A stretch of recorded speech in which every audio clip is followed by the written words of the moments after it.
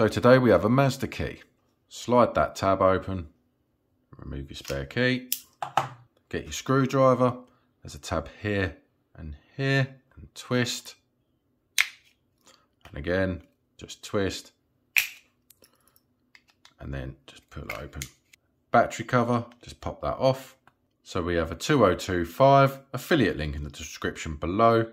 Make sure you slide that underneath this black tab and push. Grab your battery cover, push it down.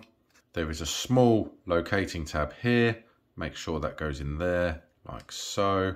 And then just push. Grab your key, insert the key. Job done. Don't forget to like and subscribe.